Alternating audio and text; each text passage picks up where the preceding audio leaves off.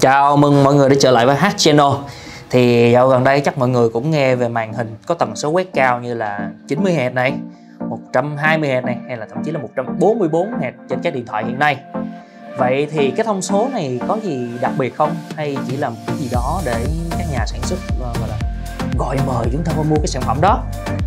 Thì hôm nay chúng ta sẽ có một cái lớp học rất là đặc biệt, Đó chính là lớp học công nghệ. Và tập đầu tiên của chúng ta đó chính là màn hình có tần số quét cao à, chúng ta sẽ bắt đầu sau phần intro nhé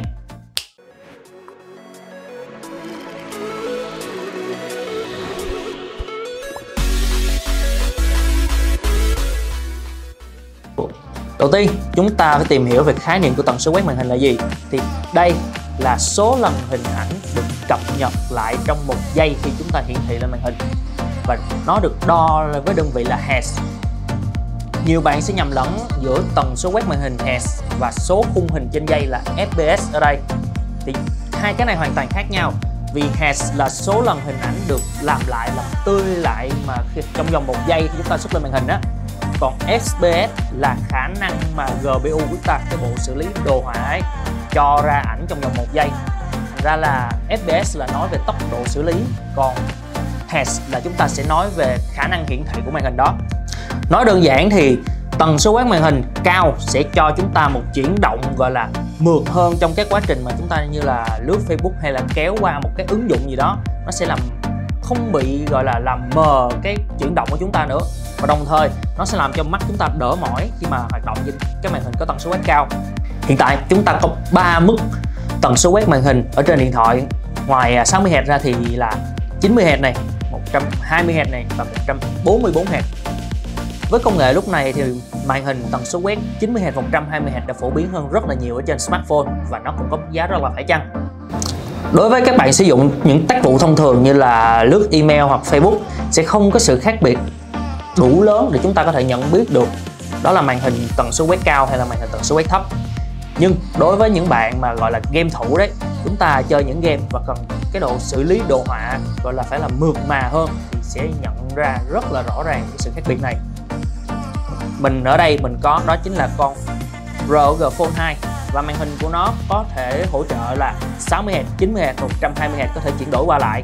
Thì mình cũng sẽ à, gọi là test cho các bạn xem được sự khác biệt của nó như thế nào. Đồng thời mình cũng sẽ chơi một cái game đó là Asphalt 9 để các bạn coi qua coi sao. Thì đây là chiếc ROG Phone 2 của mình.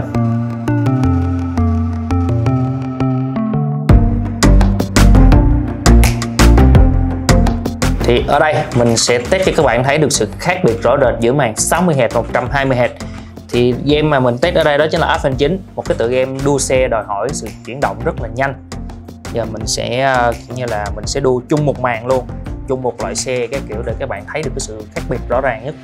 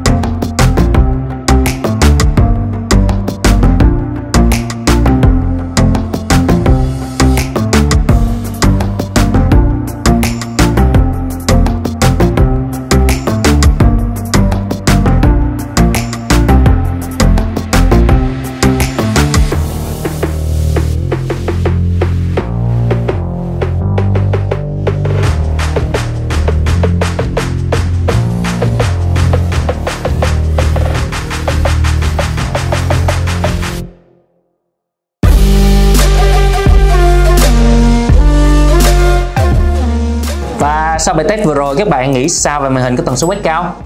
Với màn hình 120Hz thì như các bạn cũng biết là chúng ta cần một, gọi là một lượng lớn sức mạnh đồ họa để xử lý.